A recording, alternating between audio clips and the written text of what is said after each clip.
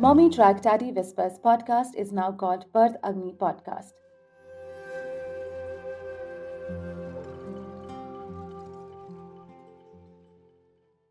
But she was transferred. The baby was 1 kg. The baby was not taken to the NICU. I'm sure in villages you don't have that sort of a facility of an NICU.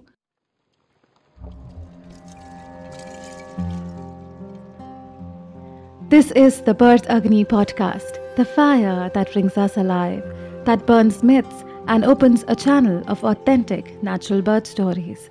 This show debunks the many myths of the medicalized births, showcases the plethora of choices a pregnant couple can make to embark on their empowered birth journey. I'm Divya Kapoor, a certified birth and lactation counselor and an aspiring traditional birth attendant. Let's get the flames blazing high. What's new? Nothing. I'm very angry and frustrated, and there's nothing new in that. Um, mostly, mostly, I'm very clear with my disappointment with a lot of things, especially in the birth world.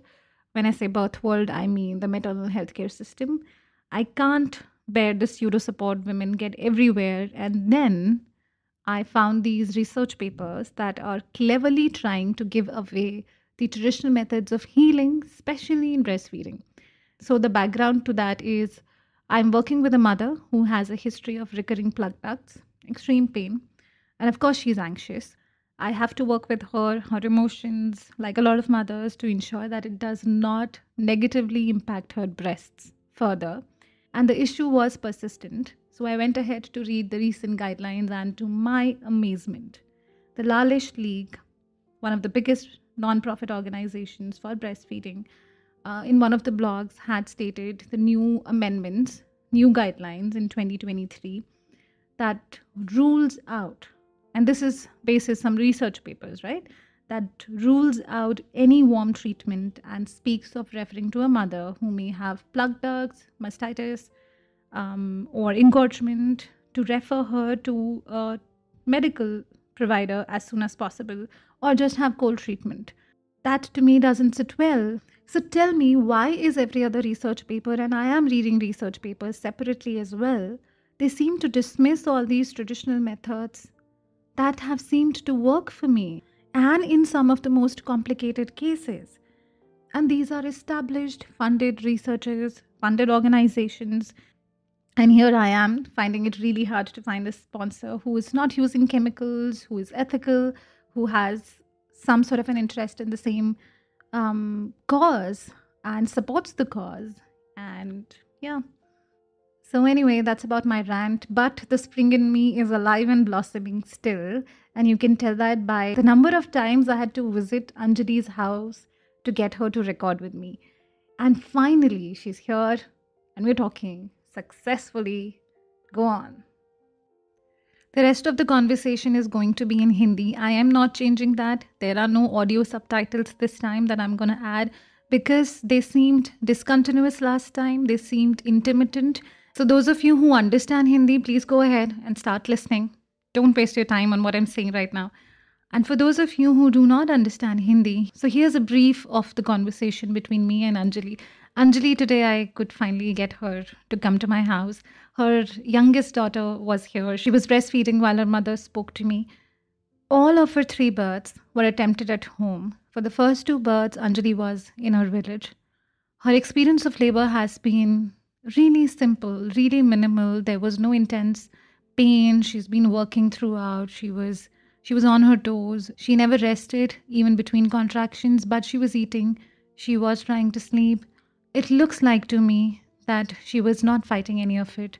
Traditionally, uh, what comes out through her story in all these three births is that there is a concoction that women in India traditionally drink to be able to increase their intensity of pain to support their uterus, and it's a warm concoction. It's a liquid um, in which jaggery is um, mixed with warm water.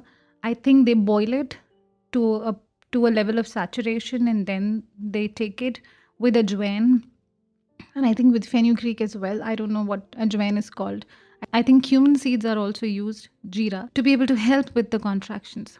That is what she had all three her labors.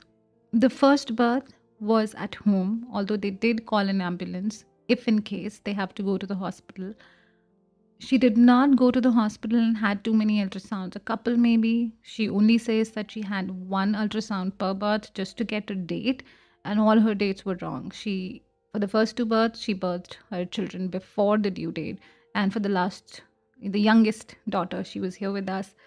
She had her 10 days or so after the due date. Um, she had seen one birth growing up when she was 15 or 16.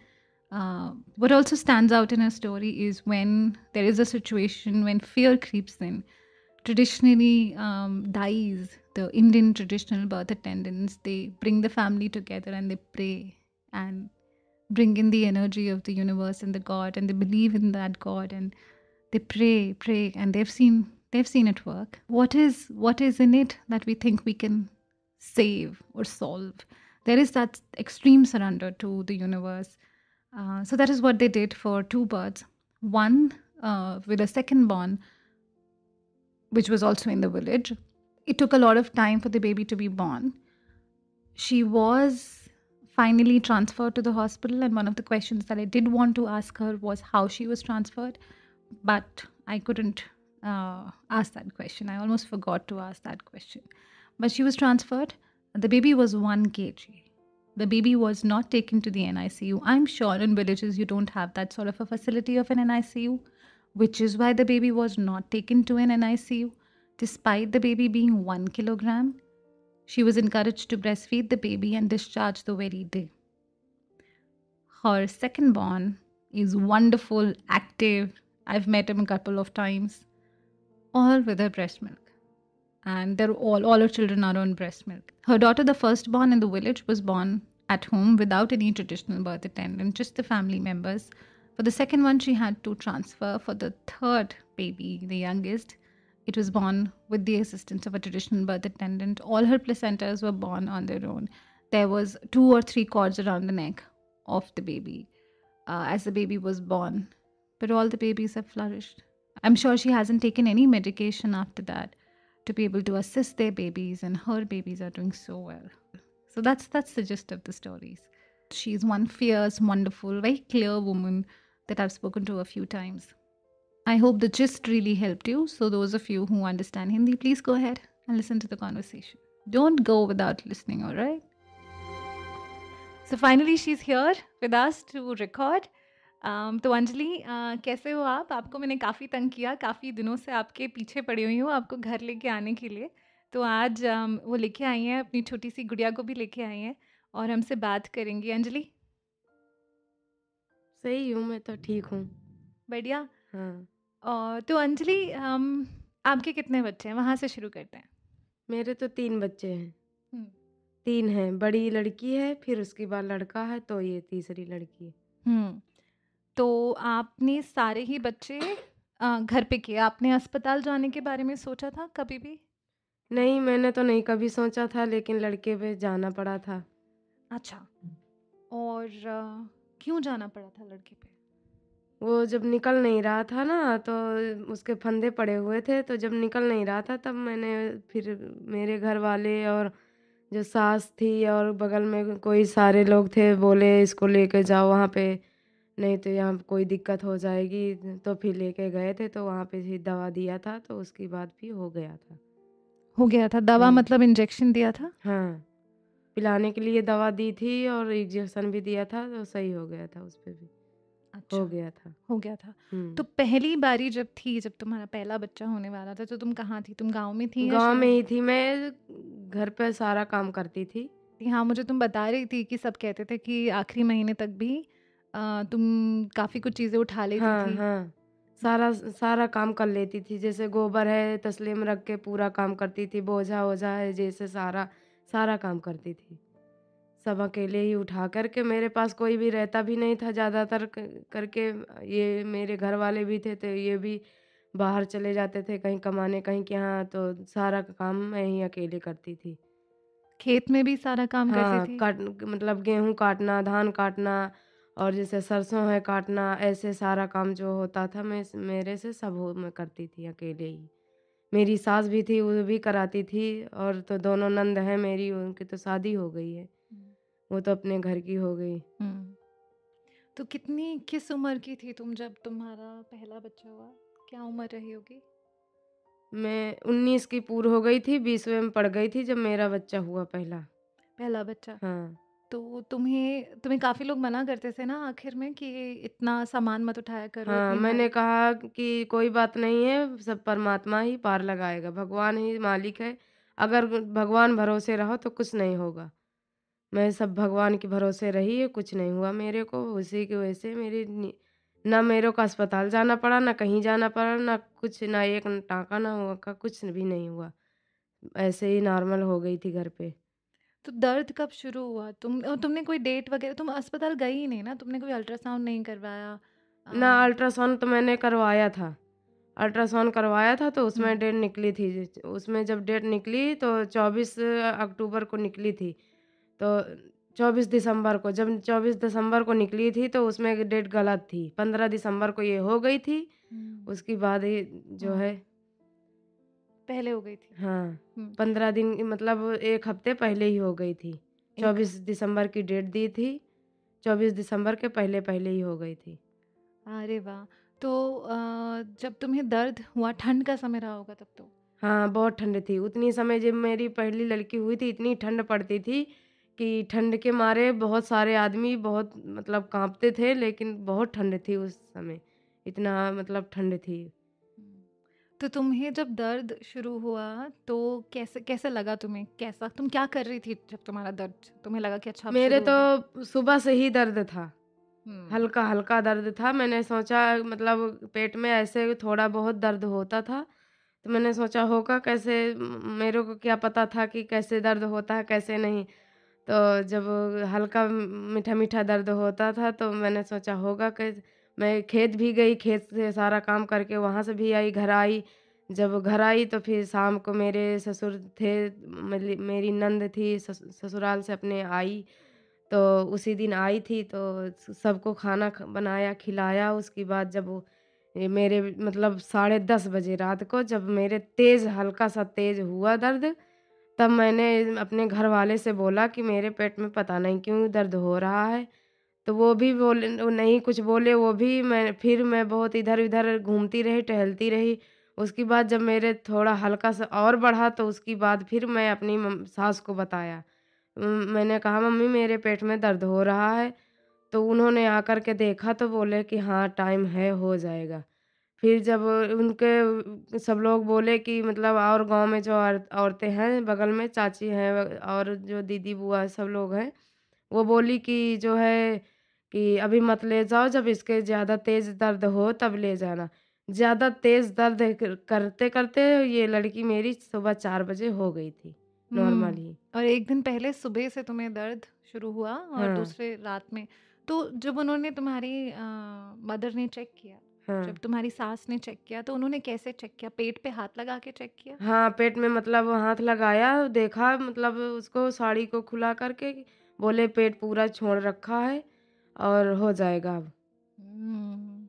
तो फिर ये काढ़ा वाढ़ा बना के जो गुड़ का वो देते हैं उसको दिया फिर पिया तो फिर बस थोड़ी देर बाद ही सुबह चार बजे हो गई थी तो तुम्हें रात में सोने में कोई दिक्कत हुई? नहीं तुम कुछ भी आराम नहीं से सो हाँ सो गई थी तुम? नहीं मैंने सोया नहीं था पूरी रात में जगी थी जगी थी। हाँ हाँ, पर सोई ह नहीं थी पर इतना दर्द नहीं था कि तुम्हें नहीं बहुत बिल्कुल हल्का एकदम हल्का दर्द था मीठा मीठा बस ज़्यादा दर्द नहीं था हुँ।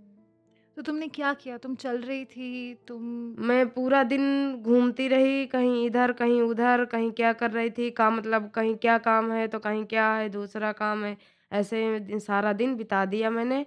जब मेरे शाम को हल्का दर्द हुआ है तब मैंने अपने सास को बताया था कि हाँ मेरे पेट में दर्द हो रहा तब उन्होंने फिर देखा बोला हाँ सही बात है। और रात में क्या किया फिर तुमने? जब रात में हो रहा था तो तुम टहल रही थी रात में? हाँ रात में भी मैं घूम रही थी इधर से उधर इधर से उधर मैं घूम रही थी लेटी नहीं हूँ पूरी रात हुँ। पूरी रात मैं लेटी नहीं हूँ हुँ। तो कोई पे कोई पीठ सहला रहा था, कोई मालिश कर रहा था, कोई नहीं कुछ नहीं कोई नहीं किया कुछ नहीं, अपने आप ही तुम ऐसे टहलती हाँ रही। अ, ज़मीन पे भी बैठ रही थी? हाँ मतलब अपने पैर के बल ज़मीन पर बैठ रही थी? हाँ हाँ बैठ रही थी, अपने आप कर रही थी? हाँ अपने आप मन कर रहा था तुम्हारा ये सब हाँ। करने का। अरे वाह! तो फिर जब ये हुई तो गाँव की औरतें थीं उस वक्त? हाँ तीन लोग थी चाची दोनों थी वो भी थी और मेरी सास भी थी मेरी नंद भी थी चार लोग थी। अरे वाह! तो फिर अ, जब ये हुई तो उन्होंने ही सारा कुछ सफ़ाई सारा हाँ। संभाला? उसके बाद जब फ़ोन जब ये हो गई थी तो फ़ोन किया था तो एंबुलेंस आई थी तब गई थी मैं वहाँ पे। अच्छा तुम इसके होने के बाद अस्पताल गई थी? हाँ। एंबुलेंस को क्योंकि बुला लिया था। हम्म अच्छा और ये तुम्हें घर वालों ने बोला कि इतने जल्दी दर्द में अस्पताल जाने की ज़रूरत नहीं है। हाँ बोले कि हल्का दर्द है अभी मत लेके जाओ टाइम लगेगा।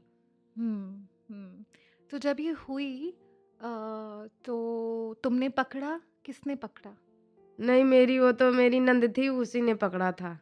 हाँ उसने पकड़ा था। तो अ, बिस्तर पे ही हुई या हाँ ज़मीन पे? ऐसे मैं लेटी थी लेटे लेटे हो गई थी। लेटे लेटे हो गई हाँ। अरे वाह तो फिर उसको छाती पे तुरंत लगा लिया? क्या किया था नहीं वो छाती पे तो नहीं लगाने लगाया था तुरंत मतलब वो गाँव पे जानते हैं कि, कि कैसे लोग करते हैं। हम्म, वो सूप वगैरह होता नहीं उस पे लिटाया फिर उसके बाद जो है थोड़ी देर बाद एंबुलेंस आ गई फिर उस पे चले गए लेके फिर जब वहाँ पे गए तो फिर नर्स ने सफ़ाई वफाई किया फिर उसके बाद जो है तब छाती पे बोले छाती पे लगा लो इसको तो फिर लगाया था। तो उससे पहले तुम्हारा जो खून की थैली निकलती है वो घर पर निकली थी या वो अस्पताल में निकली नहीं वो तो अस्पताल पे ही निकली थी। वो अस्पताल में। वो हाँ। नर्स ने निकाली थी या वो अपने आप निकली थी? नहीं वो तो अपने आप ही निकल गई थी। मतलब यहाँ पे पेट दबा रखा था वो भी अपने आप निकल गई थी। ठीक है उन्होंने और फिर तुम उसे घर लेकर आई थी या हाँ वो, वो लड़की के टाइम पे तो मैं तीन दिन अस्पताल में ही रही। उसके बाद फिर तीसरे दिन आई शाम को। पहले पहले बच्चे में हाँ, तीन दिन अस्पताल। तो हाँ, तीन दिन अस्पताल में क्यों रखा? कुछ नहीं मतलब बोल रहे थे कि मतलब कोई दिक्कत हो जाए या परेशानी हो जाए कुछ बात हो जाए तो यहाँ पे रख लो तीन दिन उसके बाद फिर ले जाना आप अपने यहाँ पर और तो बोले थे मतलब नर्स जो होती हैं वो बोली थी कि कोई दिक्कत ना हो तो ले जाओ। तो मेरी सास ने बोली कि कोई बात नहीं दो दिन रख लेंगे वो कुछ हो नहीं जाएगा। हम्म। मतलब कोई दिक्कत परेशानी कुछ भी हो उसकी हम्म। जब हो गई थी तो ये पता नहीं क्यों ऐसे जब मेरे पेट में जब हो जब हो मतलब पेट में थी तो इतना दर्द नहीं हुआ इतना पेट मतलब जब हो गई थी उसके बाद मेरे पेट में पता नहीं क्यों दर्द हो रहा था। दूध पिलाने पे दर्द हो रहा होगा ना? नहीं दूध पिलाने पे नहीं ऐसे ही दर्द हो रहा था मतलब जैसे पेट में ऐठन नहीं होती है। ऐठन होती है हाँ। वैसे ही दर्द हो रहा था।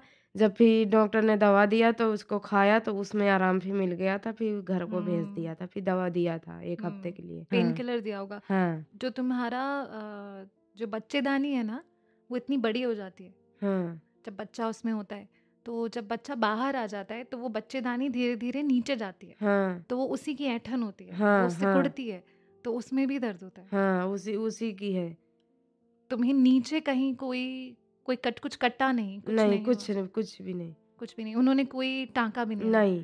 अरे वाह तो और दूध पिलाती रही तुम हाँ अपना ही दूध शुरू से पिलाया है डेढ़ साल पी है उसके बाद ये जब आ गया लड़का पेट में तो ये हाँ बस डेढ़ साल ही दूध पिया था हम्म। उसके बाद अपने आप ही छोड़ दिया। अपने आप छोड़ हाँ। अच्छा अपने आप छोड़ दिया? हाँ खाने पीने लगी थी फिर सारा चीज़ बिस्किट है खाना भी सबके साथ खाती थी दूध वूध मतलब ऊपर का है वो भी पी लेती थी खाती पीती थी खेलती थी। चल चल भी नहीं लगे एक साल के मतलब एक साल नवे महीने में चलने भी लगी थी अपने आप। हम्म और अब पेड़ चढ़ जाती है। हाँ पेड़ पे चढ़ जाती है अब तो। हाँ बहुत सारे हमें छोटे छोटे उसने ऑरेंज निकाल के दिए हाँ। तोड़ के दिए।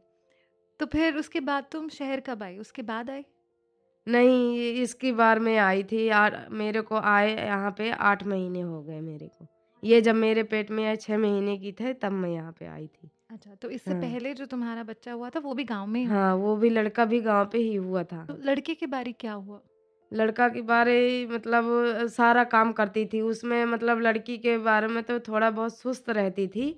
लड़का जो था मेरे पेट में तो जब पूरा काम करती थी गाँव वाले जो मतलब चाची है और दीदी लोग हैं, जेठानी जो लगती हैं, सारे लोग थे, बोल रहे थे इसकी बार अब की इसके लड़का ही होगा, क्योंकि ये उलर उलर के चलती है, उलर उलर के सारा काम करती है।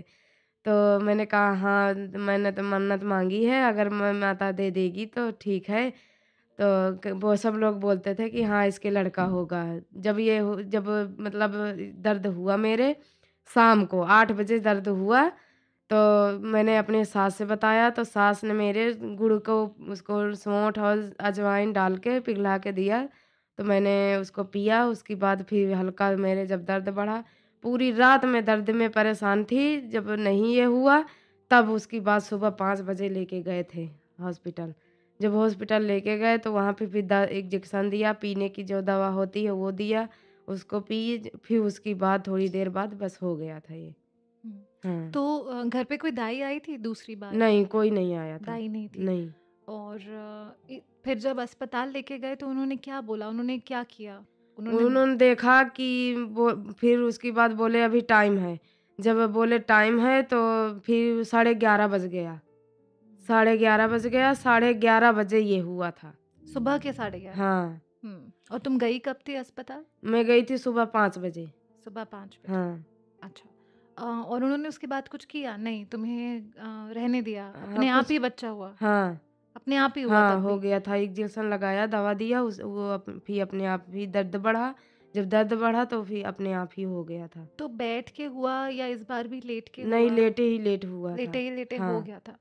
तो तुम बता रही थी कि दो नाड़ है उसके हाँ दो तीन नाड़। लगी थी उसकी नाड़। तीन नाड़ लगी हाँ। फिर भी उन्होंने कुछ दिक्कत हाँ जब नहीं वो की? हो गया निकल गया तो उसके जब मतलब थोड़ा निकल गया तो उसके बाद उन्होंने देखा तो फिर निकाला फिर बोले कि इसके नाल वो पड़ी थी नाल इसीलिए वो नि- निकल पड़ी थी। हम्म, तो निकलने में हाँ इसीलिए दिक्कत रही। तो इस बार जब तुम्हें दर्द बहुत ज़्यादा हो रहा था तो कैसा दर्द हो रहा था? पीठ में दर्द हो रहा था? नहीं पीठ वीठ में तो कहीं नहीं सिर्फ़ कमर में ही हल्का दर्द था बस। जो पूरी रात दर्द था वो हाँ। कमर में था? कमर में ही था।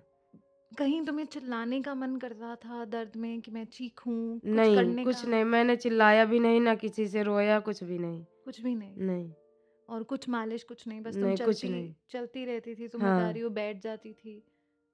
घूमती भी थी बैठती भी थी फिर इधर इधर सारा दिन काम में करती थी। ऐसे ही में सारा दिन बीतते बोल सब लोग बोलते थे कि ज़्यादा लेटना भी मत नहीं तो दिक्कत हो जाएगी। अ, मैं ज़्यादा लेटती भी नहीं थी घूमती रहती थी कहीं खेत जाती थी कहीं कहाँ जाती थी ऐसे घूमती थी सारा काम करती थी।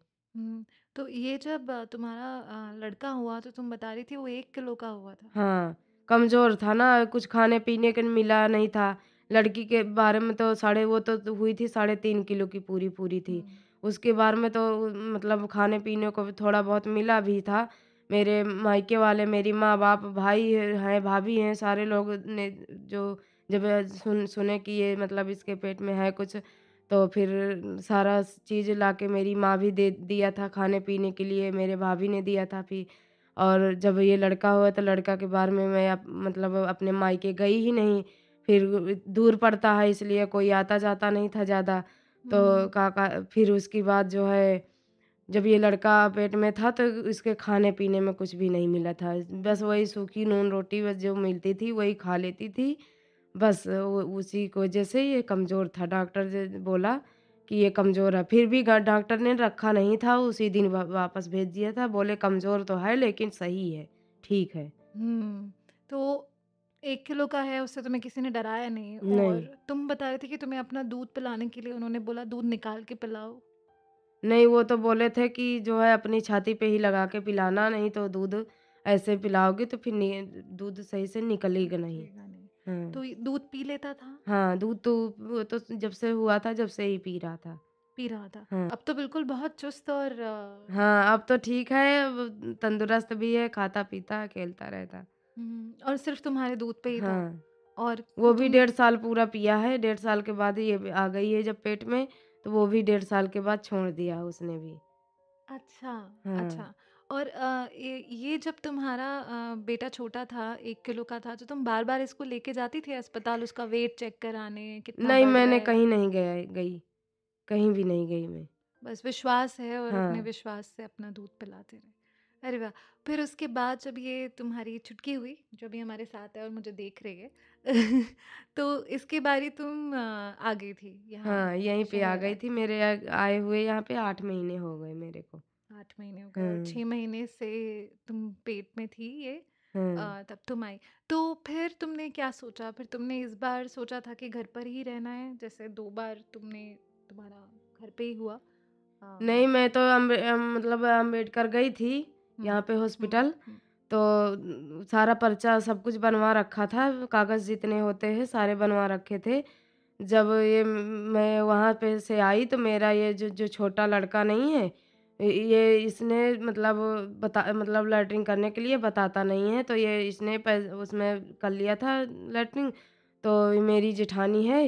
ये बोली, हम नहीं करेंगे किसी के बच्चे का, ये है, वो है, बहुत बहुत गाली दे रही थी और जो पाया, जो काहे, कह ले गई उसके बाद मैंने कहा, जो बगल में दीदी रहती है, उन्होंने मेरे को बताया सारी बात कि ऐसे-ऐसे बोल रही थी, ये ये है, वो है। तो मैंने कहा, कोई बात नहीं, ठीक है, मैं ताई को बुला लूँगी, मैं नहीं जाऊँगी कहीं, अपने बच्चे तो देख लूँगी कम से कम हो जाएगा, मैं किसी तरह तो कर लूँगी मैं। फिर उसके बाद तभी मैं हॉस्पिटल नहीं गई थी। सारे वो लोग बोल रहे थे कि ज वहाँ जाओगी तो तुम्हें मतलब मतलब कुछ दिक्कत होगी या परेशानी होगी तो बोतल खून की या कुछ भी दिक्कत होगी तो वो सारा चीज़ कर देते हैं। मैंने कहा कोई बात नहीं जब ब परमात्मा मालिक है तो वो वही करेगा मेरा सब कुछ। मैंने नहीं गई फिर मैं कहीं नहीं गई ताई को बुलाया फ़ोन किया वो ताई आई ये सावा डेयरी। हुँ, जब आई तो फिर देखा उन्होंने बोला कि हाँ, शाम तक हो जाएगी। ये फिर सा वो साढ़े 6 बजे हो गई थी, नवरात में ही हुई थी। नवरात्मा नवरात्मा का दिन चल रहा था उसी दिन हो गई थी। अरे वाह! तो ये जब तुमने डिसाइड और तुम अस्पताल गई तो तुमने वहाँ पर अल्ट्रासाउंड इस बार भी शायद एक ही करवाया हाँ, 1 या एक ही करवाया था बस। नवे महीने में करवाया था, डेट दिया था। एक दिया था ग्यारह अक्टूबर को, एक दिया था 18 अक्टूबर को, तो दोनों डेट वेस्ट निकल गई मेरी। दोनों निकल गई उसके बाद तो ये हुई इक्कीस अक्टूबर को। अच्छा 40 हफ़्ते जो को उन्होंने डेट दी थी उससे हाँ, ऊपर होने के बाद हाँ। ये अरे वाह! तो हाँ डेट तो सही नहीं होती है। बच्चे को जब आना होता है तो आता। तुम घबराई नहीं ना अगर डेट नहीं, मैंने कुछ तो? नहीं घबराई, ना मेरे को कुछ दिक्कत थी, ना मेरे को कुछ परेशानी थी। तुम्हारा जो बेटा हुआ तो भी वो डेट निकल गई थी हुआ था या डेट हाँ, डेट निकल गई थी उसकी बार भी। हुँ, कितनी निकल गई थी? उसकी दिए थे 27 अक्टूबर मतलब 27 दिसंबर को दिया था और जब 27 दिसंबर को दिया था तो उस वो हो गया था 24 दिसंबर को। पहले? हाँ अच्छा, पहले हो गया था। हाँ। अच्छा, तो फिर जब बेटी होने वाली थी ये गुड़िया जो हमारे साथ है, तो तुम्हें दर्द कैसे इसकी बारी दर्द कैसे शुरू हुआ? वैसे ही जैसे पहले था वैसे ही दर्द था। वैसे ही दर्द था, जैसे पहले कमर था। में मरोड़ सा पड़ना? हाँ, हल्का मीठा-मीठा दर्द था बस आई-ताई देखी तो बोली हाँ, दर्द है। बस 2 इंजेक्शन लगाए थे, जब ये निकल नहीं रही थी तब दूसरा उन्होंने लगाया था। उसके बाद जब ये थोड़ा-सा निकली उसके द तब उन्होंने देखा कि हाँ, इसके फंदे पड़े हुए हैं। तो कितनी देर वेट किया था? कब से शुरू हुआ और कब दाई ने फिर इंजेक्शन लगवाया? 5 बजे उन्होंने वो मतलब दवा दिया था, पाँच बजे दिया दवा पाँच बज के 20 मिनट पे। जब पाँच बज के 20 मिनट पे दवा दिया तो उसके बाद आधा एक घंटा वेट किया, तब जाके ये बहुत परेशान मतलब इसमें हो गई थी। फिर ताई बहुत अच्छी है, फिर उसके बाद जब ये निकल नहीं रही थी तब उन्होंने फिर बोला फिर मतलब मनाया-पताया जो भी भगवान से विनती किया, सारे लोग फिर जितने थे सारे सब सब कुछ किया, तब ये फिर हो गई थी। बोले कि कोई बात नहीं है, आपके घर में लक्ष्मी आई है, कुछ नहीं, सब पार हो जाएगा। तो सबने मिलके पूजा की उस वक़्त हाँ, इंजेक्शन देने के बाद तुरंत नहीं हुई है? हाँ। बहुत बढ़िया। तो इस जब तुम्हारा दर्द तुम्हारा दर्द इसकी बारी कितने बजे शुरू हुआ? रात में हुआ था? 8 नहीं, इसकी बार में तो मेरे वही 2 2 बजे दर्द हुआ था दिन के। दिन के 2 बजे। हाँ, 2 बजे दर्द हुआ था, उसके बाद साढ़े 3 बजे जब अ, ताई आई, ताई को बुलाया।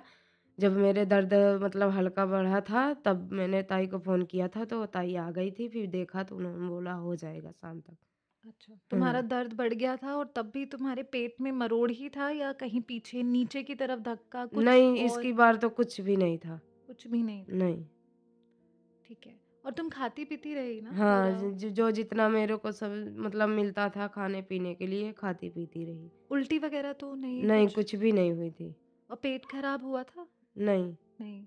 अ, और उसके फिर ये जब हो गई तो दो नाड़ पड़ी थी हाँ। इसके तो वो दाई ने निकाल दिया। हाँ। फिर अ, जब तुम्हारा वो खून की थैली निकलनी थी तो दाई ने बिठाया, क्या किया? नहीं वो हाँ, वो तो बैठाया था जब निकल गई थी उ मतलब पेट में दबा रखा था। जब निकल गई थी तो वो फिर साफ-सफाई सब पूरा करके और पैसा-वैसा लिया, फिर साड़ी भी लिया। नेग बोले कि बेटी हुई है, क्या एक साड़ी भी नहीं द फिर मैंने दिया था, फिर साफ-सफाई सारा करके फिर वो अब चली गई थी अपने घर। चली गई। हाँ। अ, तो तुम्हें क्या लगता है क्या ज़्यादा बेहतर है घर पे बच्चा हो मेरे को तो सबसे अच्छा लगता है घर ही पे हो जाए बस बहुत अच्छा है। क्यों? क्योंकि वहाँ अस्पताल पे जाओ, खून भी निकालते हैं तो बहुत सारा निकाल लेते हैं, खून वे वेस्ट कर देते हैं, उसको ख़राब कर देते हैं। और फिर उसके बाद जो है कहीं क्या कमी बताते हैं, कहीं क्या कमी बताते हैं, बोलते हैं कि या या मतलब ज़्यादा दर्द किसी-किसी के रहता है तो चिल्ला चिल मतलब कोई-कोई चिल्लाता है, तो बोलते हैं कि जो है को ऑपरेशन करना पड़ेगा, ये है, वो है, बहुत सारी बातें बताने लगते हैं कि जो है कमज़ोर है, खू इसके खून नहीं है, खून चढ़ेगा, ऐसे मतलब इस इसलिए मेरे को डर लगता है वहाँ पे। और तुमने पहले घर पे बच्चे होते हुए, बड़े होते हुए जब तुम बड़ी हो रही थी तो देखा था किसी का घर में बच्चा हुआ? हाँ, मैं जब मतलब 16 साल की थी तो मेरे भाभी के जो मतलब मंझली वाली भाभी को लड़का जब ये लड़की हुई थी तो गई थी साथ में, माँ मेरी थी नहीं, माँ मेरी माँ माँ मामा के यहाँ चली गई थी, शादी थी। तो इनके पेट में जब दर्द होता है तो बोले कि कोई ना कोई साथ में इसके चलो तो मैं ही गई थी फिर। जब गई थी तो वहाँ पे देखा था मैंने। जब तुमने पहली बार देखा तो तुम्हें डर तो नहीं लगा नहीं, मेरे को दर्द नहीं लगा था लेकिन भाभी मेरी बहुत चिल्ला रही थी, रो रही थी, उसके मतलब बहुत दर्द था। तो जब रो रही थी तो उसके बाद जो है मैंने कहा कोई बात नहीं भाभी सब भ परमात्मा मैंने हाथ जोड़कर एक घंटा मैंने भगवान से प्रार्थना किया। मैंने कहा प्रम प्रभु मेरे भाभी को कैसे चाहे लड़की हो चाहे लड़का हो किसी तरह से पार लगा दो बस। और हो गया था हाँ, फिर हो गया था। एक घंटा के बाद हो गया था। अरे वाह! तो तुम अभी तुम एक और चीज़ तुम्हें जाने से पहले, तुम्हारी कहानी तो सबको बहुत इंस्पायर करेगी, बहुत उनको हिम्मत देगी कि ये नॉर्मल है। घर हुँ। पे बच्चा करना कोई अलग चीज़ नहीं है, यही ऐसे ही होता है। पर एक चीज़ और मुझे तुमसे पूछनी है, इससे पहले कि हम अपना रिकॉर्डिंग ख़त्म करें। तुम अपनी जेठानी के भी दो बच्चों में से एक को अपना दूध पिला रही थी। हाँ। तो तुम कैसे वो तुम्हारे घर में नहीं रहते हैं, तुम्हारे घर के पीछे जब जब मैं जाती थी तो वो रोती थी, भूखी रहती थी क्योंकि वो जो है ना उसके मतलब लड़के के ज़्यादा प्यार करती है। लड़के से ज़्यादा प्यार करती है, लड़की को कोई इज़्ज़त कोई मतलब वो नहीं रख कर करती है, बोलती है जब जब कहती है कि कि ये पता नहीं कहाँ से आ गई है। मैंने उसको कई बार भी टोका कि जो है कि क्यों जो है ऐसे कहती हो भगवान ने दिया है तो साथ में आए हैं, भाई-बहन बन के आए हैं, भगवान ने दिया है तो अब क्या भगा दोगी उसको, मार डालोगी, क्या करोगी? तो फिर कुछ नहीं बोलती थी, मैंने रोती थी तो मैं उसको गोद में ले लेके दूध पिला देती थी अपना। क्योंकि मेरे ये जब छोटी थी तो ये इतना मेरा दूध मतलब निकलता था कि अपने आप ही बहने लगता था, तो मैंने कहा कोई बात नहीं मैं इधर जब आती जब-जब आती थी उसको दूध पिला देती थी अपना। और तुम आती थी, तुमने समय बाँध रखा था कि अब हाँ। दोपहर के समय मैं जाकर उसको अपना दूध पिलाऊँगी हाँ। ताकि और वो दो जुड़वा बच्चे हैं जिसमें बेटी कमज़ोर है, हाँ। बेटा ठीक है। बेटा तो उसका ठीक है लेकिन बेटी कमज़ोर है ले कमज़ोर है लेकिन उतना कमज़ोर नहीं है, जितनी तेज़ लड़की है उतनी तेज़ लड़का नहीं है, वो सिर्फ़ देखने में कमज़ोर है बस। इत बहुत तेज़ है लड़की है, इतना हाथ-पैर चलाती है, पटकती है, उस लड़का से भी तेज़ है। लड़का तो जिस तरह मोटा-ताज़ा है वैसे की वैसे है, लेकिन लड़की बहुत तेज़ है। अरे वाह! लड़कियाँ ही दुनिया को आगे लेके चलती हैं। हाँ। बच्चे उनसे ही आते हैं तो तेज़ तो होंगे।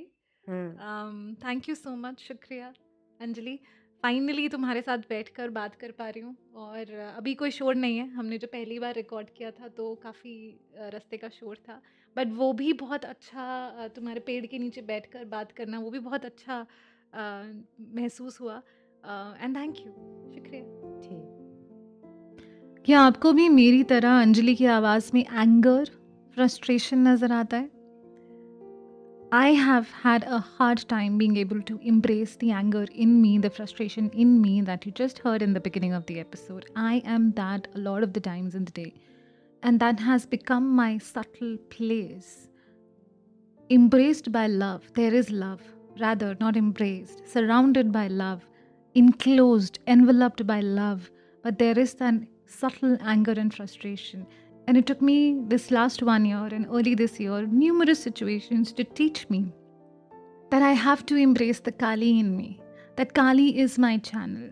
That anger, that frustration is my channel. And Kali is the ultimate role, ultimate place where a woman gets when she's hell bent on now bringing change because nothing else is working. So, this is the time that let's get angry at whatever we have been subjected to. Embrace the Kali in us. Not be an electric fence like I read on an Instagram post, but give that anger the place that it deserves. Much love.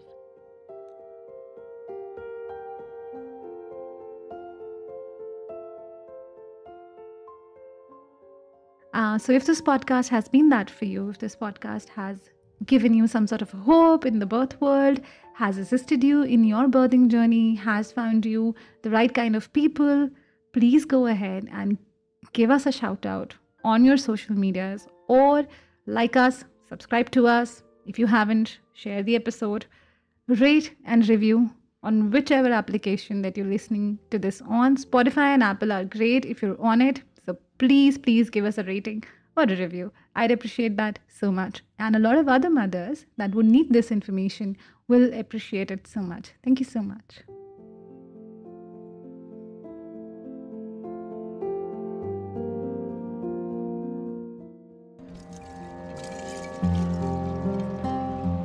There is a field beyond fear where the body is empowered to take on labor and birth. To land there, it is crucial to take birth education. To enroll into our unique labor and birth preparation course, reach out to us at www.birthagni.com or scroll through all available prenatal and postnatal preparation classes.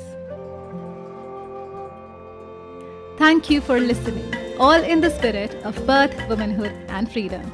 Remember, you got the power.